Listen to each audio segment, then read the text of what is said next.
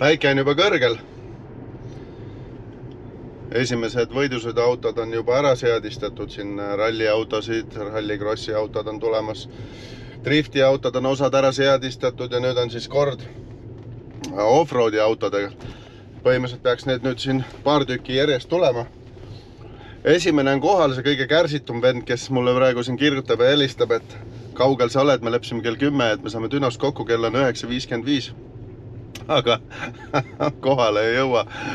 no küll ma tulen, aga ma kohe näitan teile siis, mis pilliga tegemist on, sest et äh, see auto sai siis äh, talvel endale vähe kereuuendusi ja ja me tegime seal mootorihoolduse ja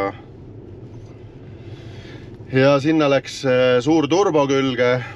Et vaatame, kas saame viissada hobujõudu, muidugi kütussüsteem sai upgrade itud ja, ja kas see kõik ennast õigustab, see kohe paistab, nii et läheme sinna, läheme natuke tõmbame sae käima, mida ta siin lahmerdab. no näed, nüüd, nüüd te näete seda venda siin. mida? tegin sissejuhatuse ära juba. mis juhtus? ei midagi, kõik on hästi. nüüd sa saad ise peaaegu, rääkida. sa oled peaaegu täpne, paar minutit. kuule, ma rääkisin, et ma tulen kell kümme, praegu on äh, vii-, üheksa viiskümmend seitse, viisakas, viisakas tuleks ikka viis minti varem. Ma ei tea, kus kuradi kohas.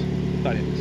ma ei õigus, sa oled Harjumaal ja selge, sa oled ju teine mees, las ta mis jääb. asja, ma olen täpne mees, kui ma lepin kokku kell kümme, siis ma tulen kell kümme. no vaatame siis seda masinat. ägedad rattad sulle alla, et seal midagi ära ei löö. aga oled sa kindel, et need, need on seitse aastat meil olnud iga kord Dünos all? aga need on legendaarsed. aga need puru ei lähe veel või? neljanda käiguga teed siis. ai, ai, ai, kuule, mida kuradit nagu praod on sees juba. ega sa siin äh, Saksamaa otsa sellega ette ei võta ma ei tea, kui ta puru läheb, siis tead, et eh, see dünapink on suurusjärk sama kallis kui see auto. ai, ai, ai. mul on olnud üks juhtum, kuidas rehv läks eh, dünapingist puruks, täpselt samasugused praod olid sees. ja selle vastutuse võtab ikka omanik, nii et. Läks vaatama seda asja. kuule, aga räägi siis, mis auto juures muutsid? üle värvisime. Tegelikult tegime päris palju. võtsime selle täitsa lahti. mina saagisime praktiliselt siitmaalt no ma maha. näen, see amordikannud ja kõik on ei erinevad. no tegelikult siitmaalt ei olnud, ainult see torujupp jäi. selle, siia me tegime jätku, aga mina läks terve nüüd maha teljavahelist pikemaks. väga palju igast detaile, tagavedrustus muutus totaalselt. okei okay,, ja ma näen nagu Can-Amil on see tagavedus. ja nüüd tegime veel reilarmide peale ja panime siuksed vähe tõsisemad amordid ka, et saaks, saaks vähe, vähe nagu sõita ka need kiiremalt sõita. Mootor on muidugi upgrade itud kõvasti, mingi vähe suurema fööni ja. mootor ise ei olegi, mootoril on sama kubatuur, lihtsalt värsked kolvid ja sama. hooldus. aga natuke läks puuris suuremaks veits jah? kakskümmend milliliitrit, pool viinapitsi. pool- pool viinapitsi. aga ma vaatan siis teiselt poolt, las ta räägib telefoniga. käib soojaks, ma näen, et summuti on igal juhul nüüd otsast lõpuni jämedam. see oli eeldus, et teha sellist hobujõudu.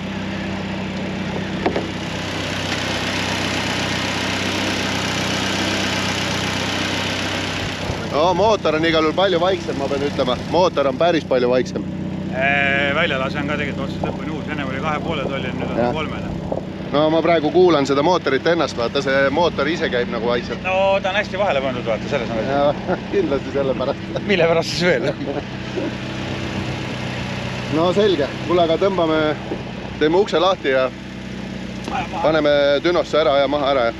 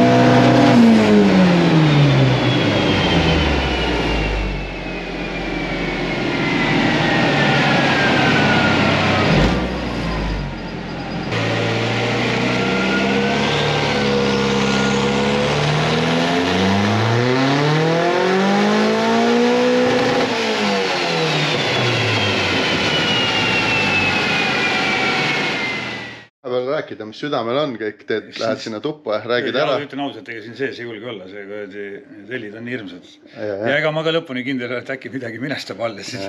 ma olen seal õnneks seal sees, aga kui ma üldiselt filmisin sealt nurga tagant, ma tegelikult tegin niimoodi, et ise oli nagu nurga taga, siis ma vaatasin telefoni, siis mõtlesin, et sealt mingi kolm äkki pääs, pääseks vähemalt. Telefonist ei ole nii kahju, vaata kui endast. ega nalja pole. ei no, aga õnneks vaata, see on nagu hea, ühtegi tilka ei ole mitte kuskil. Need vanad tilgad on mul siin, need võidused autod. Need ei ole minu need on sul mingi laada, laadad tuunisid sinna. kusjuures alati sa oled jätnud mingid kardaani kuradi määrded ja mingid jurad maha, seekord ei ole mitte midagi. mis tegid siis teistmoodi? kurat puhastan ära ilmselt. ei no ütleme nii, et ma No, vaatan jah. neid see on määrib, ka esikardaani pole nagunii küljes, tagumine on vana, seda ei ole uueks tehtud, seda et äh, ja rohkem ei tilgu ka midagi. tundub isegi, et on praegu päris õnnestunud, aga no veel igaks juhuks ära ei sõna.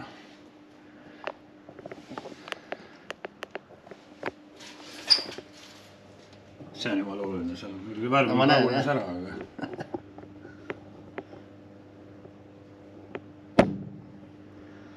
no selge, ma hakkan siis, ilusad väljad. no need on ju kuradi, no vaata võidusõidu helge. tead, mitu korda need Dünos on käinud või? no ma ei tea, seitse aastat ma arvan, et on käinud, ma vaatasin. tegelikult umbes nii ongi. jah, seitse aastat ja iga aasta üks-kaks korda keegi on nüüd kunagi ja pluss veel teised on laenanud. Ja neid on lahendatud ka, aga tegelikult ongi hea nendega teha, sellepärast kui ta on kogu aeg üks mõõt, vaata, olgu ta suur või väike, näitab ta valesid numbreid või õigeid, aga need numbrid on alati ühesugused. Ei, seda ongi hea, see lihtsalt on see võrdlus, et täht, tegelikult ma, ma ütlen, soovitan, et äh, otsi sama välja peale mingi natuke värskem rehv. no tegelikult mul on siuksed ka olemas, aga ma vaatasin ta liiga palju suured, ma mõtlesin, et kui sa siin seda lõpuni piinad, et äkki lased midagi laiali, et siis ma panen parem väiksema ratta, on palju väiksem tegelikult ei ole mingisugust vahet. sõidame ju- ma arvan, et see suur ratas võib-olla seadistamise mõttes oleks veel parem. see ratas on seitsesada viiskümmend milli läbimõõtu see ratas on üheksasada kolmkümmend, aga sõidame ju ütleme tuhat kolmkümmend millimeetrit. Et tegelikult on ka see pisike ratas sõitmise mõttes, need on üldse mingisugused no võrdleme siis, patrulli, mingi vana patrulli kuradi suvalised rattad. see näeb vähemalt rattamoodi välja. see on kolmkümmend seitse või? see on kolmkümmend seitse jah, see on tegelikult täpselt äh, Dakari mehed sõidavad nende rehvidega. kuule, aga ma teen veel viimased trikid ja nipid ja vaatame kõik üle ja siis äh, võtame otsad kokku. praegu tundub, et äh, täitsa to- toimib. ma annan äh, kaamera Hardole, Hardo vaatab, kas julg- julgeb nurga tagant filmida, et saaks ka siia mõne, mõne ägeda kaadri. mingit Kevlar kombet ja siis seda korralikku ja kiivrit. siis see vaata, tule filmi kardaani. las, las see osa jääb, ma võin selle kaamera seal serva peale panna, ise minna.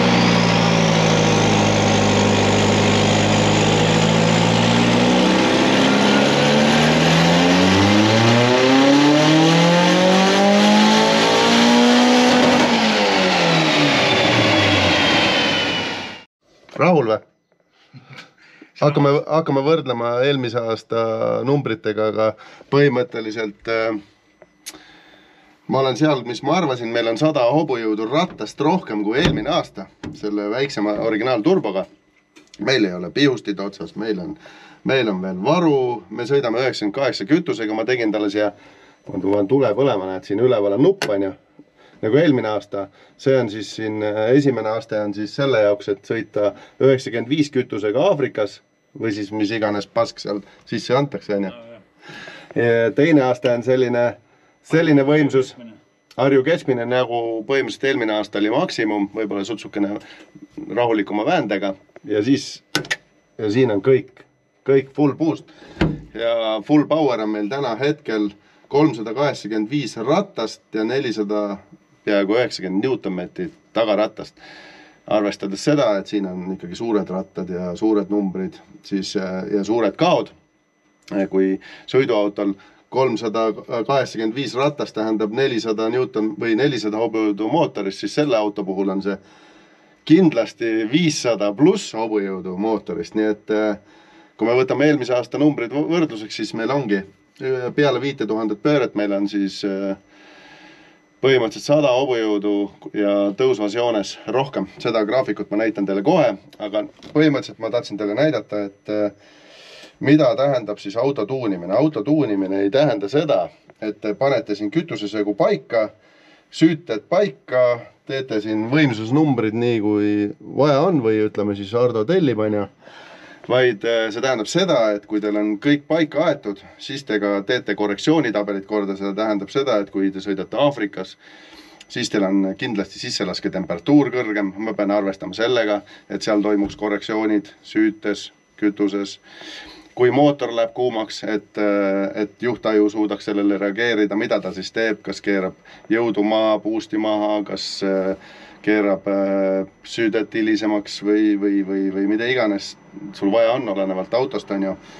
ja, ja kui sul näiteks äh, nagu nupu ma juba näitasin teile, vaja jõudu juurde panna, siis ainult üks nupuvajutus aga põhimõtteliselt selle auto puhul on kriitiline, ongi see sisselasketemperatuur. täna hetkel on tal vesi interkuuler, need on kõik alati alamõõdulised. Äh, Dünos täna meil on siin mingi pluss kümme kraadi umbes. neliteist juba. neliteist juba õues, jah. Ja me oleme saatnud, saanud niimoodi, et äh, tõmmete ajal on meil äh, neljakümne kraadi juures see sisselasketemperatuur logi alusel, eks ju. ja, ja ma arvan, et kui sa sõidad ikkagi pluss kolmekümne kraadi juures, siis, siis see võib sinna kuuekümne juurde minna. ta võib isegi sealt üle minna, aga eks siis. Ja. Läks eelmine aastaga üle. ja läks üle, onju, aga see ongi oluline, et, et seadistaja võtaks vastumeetmed tarvitusele, tähendab seda, et kas keeratakse kütusesegu targetit rikkamaks, kas võetakse süüdet hilisemaks kas võetakse boost'i maha, mida iganes on vaja, et see mootor püsiks koos. sellepärast, et võidusõit on selline asi, et vahest see viiskümmend hobujõudu ära anda ei ole probleem, tähtis on finiš. ja, ja, ja minu ülesanne on siis see tagada see, et äh, nii nagu need viimased seitse aastat jõuab see pill alati vähemalt mootori poolest finišisse, küll on, ma tean, et ta on mingi kukerpalle teinud ja. vahest juhtub neid asju ka. käisin see jutt kõik selle järgi ei lõhna, et ma pean nüüd paagi poole suuremaks keerama. jah, äh, lisa sada hobujõudu tähendab seda, et meil on jämedalt kakskümmend viis protsenti rohkem hobujõudu täna selle ja... me peame saavutama muidugi täpselt sama küttekulu, kui me saame. ja no see on juba keerulisem jutt, aga ütleme nii, et kui ta hoiab äh, pöördeid alla viie tuhande või kuni viis tuhat viissada seal vahemikus maksimum, siis, äh, siis see kütusekulu püsib ka sama, aga nii kui selle toru lahti vajutad, nii kui sa lased selle horsepower'i sealt titaaniumsummutist tagant välja, siis, siis põhimõtteliselt kukub ka või kasvab ka siis see kütusekulu, nii et sellega peab arvestama. kukub tasepaagis. tasepaagis kukub ja, aga noh, tähtis on see, et kõik need teised konkurendid, vaatad siit sellest väiksest peeglist, tal on need väiksed vägevad peeglid siin. ei no kui juba sealt neid näha on, on juba ohtlik. et need, need peavad olema siin peeglis, mitte ees, see on oluline. onju, ja see oli ka selle turbovahetuse eesmärk mootor on mõnus, vaikne, enamik oli see, käib nagu siidi, ma näen, detonatsiooniandur äh, ei registreeri mingisugust üleliigset müra, mis on väga-väga oluline, et kui sa tahad seadistada knokiandurit, et ta teeks ka süüte, ütleme siis knoki puhul midagi. pasunast tuli minu meelest rohkem detsibelle välja praegu. Aga ta, tagumine, see titaaniumsummuti, kõik teavad, et titaaniumsummuti teeb rohkem lärmi, ta kajab. ja ma ise siin autos olles, ma tunnen, kuidas see parem kõrv juba valutab, nii et äh, teisi kõrvaklappe? ma pean veel, mul on, mul on ju samasugused, panen ühed veel või võtsime eelmise aasta graafiku ette. eelmine aasta oli meil nelisada hobujõudu, nii nagu Evo mootorid teevad nelisada hobujõudu, kuussada Newtonmeetrit äh, on need maksimumnumbrid, originaalturbo, originaalpiustitega ja aga lihtsalt üleval otsas kukutab jõu ära, sest seda lihtsalt turbo ei tooda ja piustitest ei jagu. ja Newtonmeeter samamoodi kukub ära, siis nüüd me küll kaotame siin alguses natukene, ütleme kolme tuhande juures me natuke kaotame, see on selge, sest et suur turbo on suur turbo, aga mis juhtub peale viite tuhandet, kui on vaja näiteks vaja üle järve sõita, oi, kukub pikali. näiteks kui üle järve on vaja tegelikult on sõita. vaja pigem mööda kellegist sõita mingil õigel nojah, et kui sul on vaja kellegist mööda sõita, siis, siis põhimõtteliselt noh, siin on meil ju sada kümme hobujõudu rohkem on siin üleval pöördes ja kui sa siit käiku vahetad, siis sa sõidadki selles magusas alas. siin on see, kus kohas see turbo turbo siis äh, kõige paremini toodab. Ja kui me rääkisime sinuga, et, prooviks nii, et me seda maksimum Newtonmeetrit ei kaota, siis maksimum Newtonmeeter tegelikult suurusjärk jäigi samaks, see maksimum ei tee maksimum mm. -hmm. suur turbo, natuke laisem ja, ja sellepärast äh, Newtonmeeter ei karga siit alt niimoodi ülesse. aga see, kuidas ta nüüd sõidab, seda me saame teada siis, kui sa ära lähed. eks ma annan siis tagasisidet. jah et kas pean väiksema tagasi panema või ei pea? ma ei usu, et sa tahad väiksemat turbot panna, aga ma arvan, et sa tahad käigukasti vahetada, sest et eh, Evo mootorid on siuksed, et tahavad ikka sõita kolm tuhat ja üles, mitte kaks tuhat ja tuhat viissada. kuigi ma testisin siin tuhande viiesaja pöördega äh, alt otsast ära ta ei sure, see on fakt nagu, et siin kahe tuhande juures meil on täpselt sama palju jõudu põhimõtteliselt kui varem, aga meil kolme tuhande juures ei ole nii palju turborõhku veel kui varem, nii et äh, siin on vaja. alles kuskil kolme tuhande kaheksasaja pealt eh, nii-öelda hakkab klappima. jah, aga see on maksimumpiik on ju, aga reaalsus on see teema, et kahe tuhande peal, kui sa nagu peaksid kukkuma, siis seal kohast vähem jõudu ei ole. noh, see on kindel noh sest kahe tuhande pöörde peal oli meil või kahe tuhande viiesaja pöörde peal oli meil null koma neli barri boost'i, et peaks vedima, aga, aga noh, ma, ütlen kolmkümmend üheksa tolli ratas ja neid on neli tükki, noh, ta tahab saada torki, ega siin ei ole muud, muidu midagi teha. Ja teiseks see, et kui sa tahad ikka järve peal kellegist mööda sõita või siis ennem järve või ennem metsa või siis oled kuskil ukerdanud ja on vaja kellegist mööda sõita, siis nüüd on sul see võimalus olemas, ennem oli see võimalus sihuke nadi. No ütle, need autod on juba nii raskeks läinud, et ega nad, nad küll veel tulevad klisseerima nii-öelda mingil kiirusel, aga mm, -hmm. aga mitte nii nagu, nagu varem, et. no vot aga see kindlasti aitab kaasa, kui sinna järsult peale vajutada ja võib juhtuda, et saab veetakistust mitte läbi sõita, vaid üle sõita. nojah, ega sa ilma rattakiiruseta vist ei saa sealt ei, üle vee minna. rattakiirust on vaja.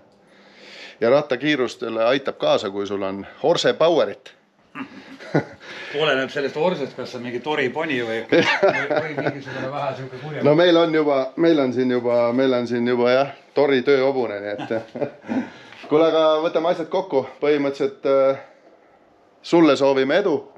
ja millal sa testima lähed? no päris võistlus on siin tegelikult üksteist mai. aga sa lähed ennem kindlasti sõitma, sul ei ole rahu. ja vedrustust on vaja väga palju hakata seadistama, sest see on nii palju uus, et ega ma väga, väga ei tea veel kõiki nüansse, et see selgub töö käigus. Ootan veel öö, oma pakki teiselt mandrilt vedrudega ja, ja siis läheb alles seadistamiseks, et ma arvan, sihuke kahe nädala pärast on reaalsus, et ta läheb tegelikult veel kleepimisse ka, et see kere kleebitakse üle, tuleb sihuke disain ka peale, mida siis. jah, ja siis, siis kui see video läheb ülesse, ma arvan, et me saame juba pildi selle reaalse disainiga ja paneme selle avatari. kui me ei saa, siis ei ole midagi hullu, aga ma, ega meil nüüd see järgmine nädal üles ei lähe ka. Kolmandal aprillil peaks tegelikult disain peal olema. no selle aja me leiame. täna on meil kakskümmend kaheksa märts. no siis me jõuame. Läheb kleepimisse, teisipäeva õhtuks äkki on tehtud kolmapäeval võib-olla juba midagi juhtub. kuule lahe, lehvitame siis